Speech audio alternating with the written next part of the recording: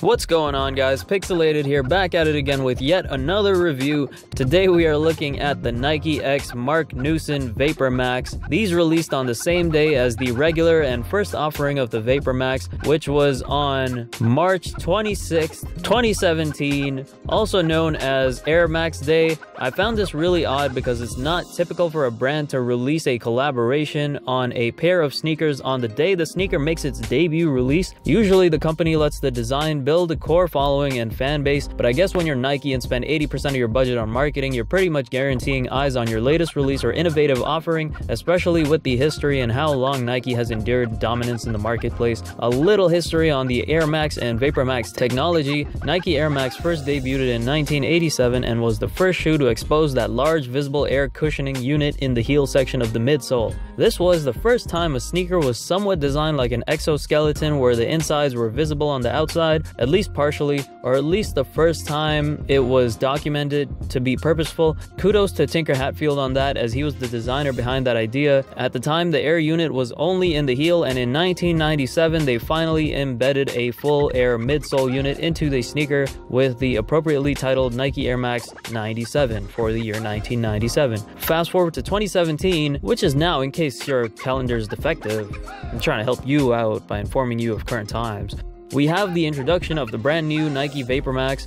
This could be considered an evolution along that same Air Max lineage, as it went from being a full air midsole now to an entirely exposed, not air, but Vapor Max midsole. There is absolutely nothing covering it or hindering it from performing its joyous acts of cushioning. Apparently, past iterations needed a secondary protective layer such as the hard rubber or foam midsoles that you see on Air Max OGs and just other Air Maxes in general to prevent the air units from busting or damaging, but due to new tech, this is once again not necessary anymore and Vapor Max technology can stand alone on its own. We'll get into more of this sneaker in a bit, but let's go over the smaller details first.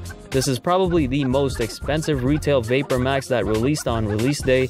The reason why the Vapor Max released on March 26th, which is Air Max Day, is to commemorate the 30th anniversary of the iconic Air Max 1, as it is an evolution in some ways of that same technology. I don't know why I went for these over the regular ones because the price is a little outlandish, but it's the only one that I really like the look of from the rest of them. The regular Vapor Max released in an all gray, pure platinum colorway and the OG white and red colorway, as well as an all black colorway and two collaboration colorways with CDG or Comme des Garçons, which were just another all black and all white pair in extremely limited quantities. I honestly don't know if they released anywhere other than certain Nike Lab retail stores, but they're going for crazy amounts of money, which is unwarranted in my opinion. They're basically the regular Vapor Max with a tab going across where the laces typically are with the brand name Comme des Garçons debossed over it. The other big difference being that there are no laces on these pairs, and I'm obviously a fan when sneaker companies make a sneaker look good without laces. If you can't tell already, but that collab collab doesn't deserve to go for that much money in my opinion. Speaking of Nike spending all their money on marketing, Nike opened Sneakeasy pop-up shops in four locations for Air Max Day.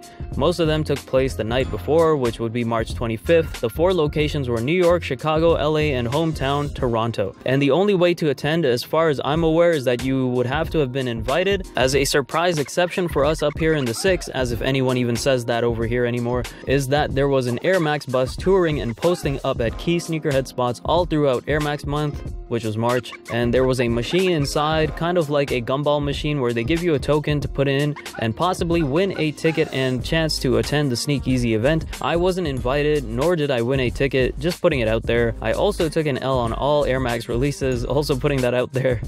Nike, help! They were keeping the subject matter of these events very mysterious. Most people who were invited didn't know or weren't made aware of what to expect at these pop-ups. However, it ended up being more or less an introduction to the brand new Nike Vapor Max silhouette while also honoring and acknowledging the past and history of the Air Max legacy, but mainly to show off the Vapor Max. Speaking of which, back to these Marc Newsons, they were pretty limited as it is. To give you an idea of how limited these were, the only store in Canada that got them was Haven. I caught the online drop and bought from there, which I kind of started to regret afterwards because it took about a week and a half to get to me. Would have just been easier to drive down to the store and buy it there because they didn't sell out as fast as the regular Vapor Max, which kind of makes sense because it really was a collab seemingly out of nowhere. And I'm pretty sure most new sneakerheads, which there are a ton of you now, have never heard of Marc Newson. Actually, I doubt anyone sneaker related has heard of Marc Newson. I'm sure there are going to be a few exceptions, but I think he was popular for designing some sort of table or something. What the f is that? I mean, I'll be honest, I didn't even know who he was until I searched him up. It's kind of like saying, listen, Nike is collabing with Steve from accounting for this sneaker.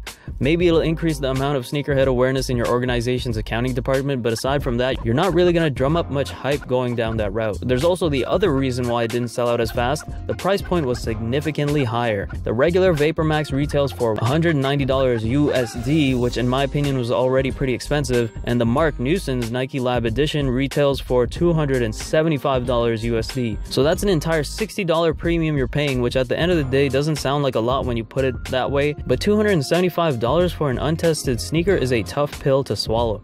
I mean, I swallowed it, but I doubt most people did too. No solidarity in the sneaker game anymore. I'll be straight up with you, the reason why I swallowed that expensive pill is because I don't really like the Vapor Max silhouette.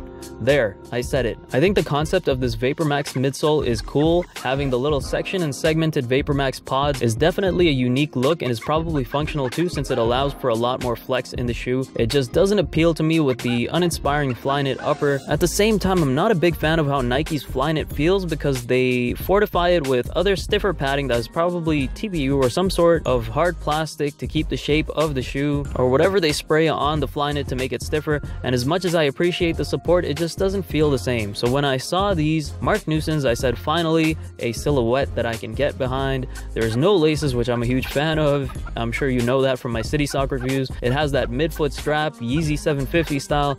Obviously, I'm kidding. I know it's been around since way before then, and it has a high top sock-like upper, kind of like the Kith Ultra Boost and the Tubular Doom, which I'm a fan of both silhouettes, not as much of the Tubular Dooms, but I do like the Kith Tubular Dooms and the Special Forces Tubular Dooms, but I do enjoy that aesthetic character of the shoe. And then I looked at the price tag and said, ouch.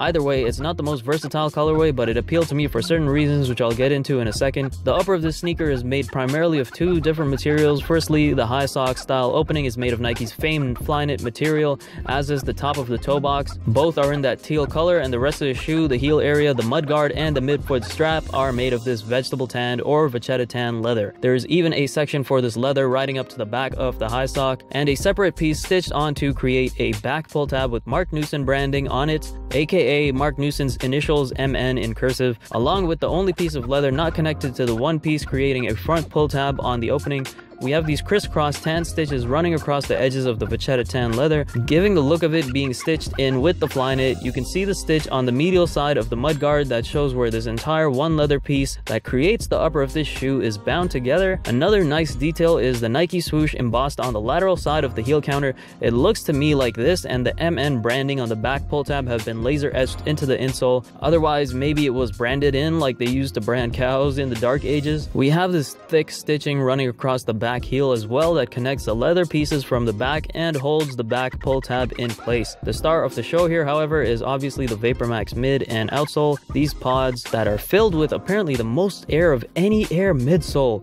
Congrats Nike on that feat. And if I recall correctly, they may actually be more than just air and have some extra chemical in there to add more support in one way or another. You can see that because there's no secondary layer over the pods, there's actually reinforced material and treads directly on the bottom of the pods for bubble burst prevention and to serve as traction and grip the floor as you walk. Now I know this isn't a popular colorway for most people and it's not very versatile. There are tons of Vachetta Tan fans out there and that's a fact, but that teal color isn't something that sits well with most people. It's definitely a choice colorway for the few who enjoy it. I personally like it because it resonates with me since I was a huge fan of the Miami Dolphins back in the day when Ricky Williams was still in the game. That was a long time ago for the OGs who remember. His decline from the game was a little depressing. I mean, he had a stint on the Toronto Argonauts for crying out loud because he got suspended from the NFL for marijuana use. Anyways, if you didn't know, dolphin colors are teal, orange, and white, so the teal Flyknit on this reminded me of the dolphins and that time in my life, so it made that high price point just a tad bit easier to digest.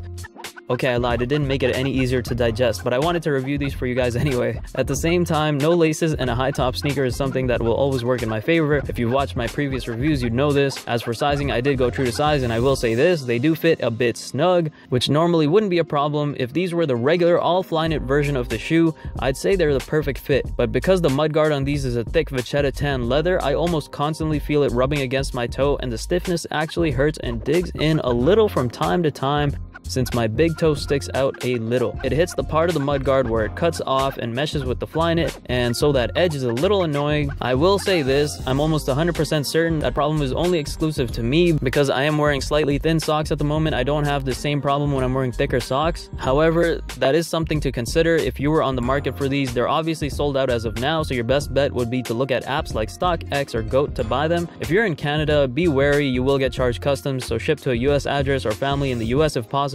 The price isn't much over retail, I don't think. I could be wrong though, as I haven't looked into it. You could probably find a smaller size somewhere, I doubt they're completely sold out, but you would have to dig a little. When it comes to the comfort of the Vapor Max, it's a real mixed bag for me. On one hand, not accounting for the painful leather to toe contact I'm feeling on one toe for the first wear, I can't say that the fit is great. I love the support you get from the leather heel counter area and mudguard. At the same time, the breathability and flexibility of the Flyknit on the ankle area as well as in the toe box area are a must. These shoes are surprisingly super light. When I first saw them, I thought they were a high top and mostly leather made, so they might have a bit of heft to them, but they're really very light. The main aspect of comfort here obviously is the Vapor Max midsole. I will tell you this, if you're expecting it to feel like Boost, I know a lot of you out there are waiting for the answer to this question.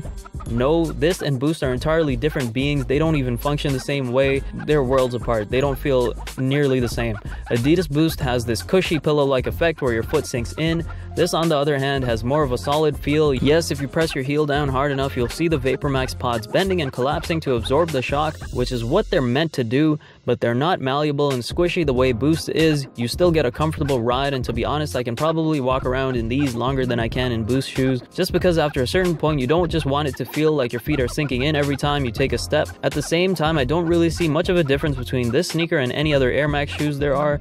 I feel like the comfort is very similar. This just feels lighter and has more flex because of the lack of a protective foam midsole around the VaporMax Tech. For casual wear, I'd probably wear Ultra Boost for walking and hanging out with friends, but if I'm doing any type of lots of movement or performance activity, like even going out to shoot where I post up in awkward positions sometimes to get the shot, I would prefer something like the VaporMax just because it's lighter and the treads at the bottom provide more grip. The lack of boost means more stability as well. At the end of the day, both technologies are comfortable and you really can't go wrong with either, but it really depends on what you like. Maybe I'll do a more in-depth comparison in another video of the two. Let me know in the comment section if you like that. I personally am happy with the design of this shoe. I'm glad they offered this as opposed to just the standard VaporMax offerings as I wouldn't have thought twice about not purchasing those. They're not bad shoes, just not my taste. They just feel a little uninspired to me when it comes to the upper. With that being said, hope you enjoyed the review. If you took anything from it, please hit that like button. I want to know what you guys think about this shoe. I think Nike Lab and Marc Newson did a very good job. And as always, hit that sub button for more juicy content.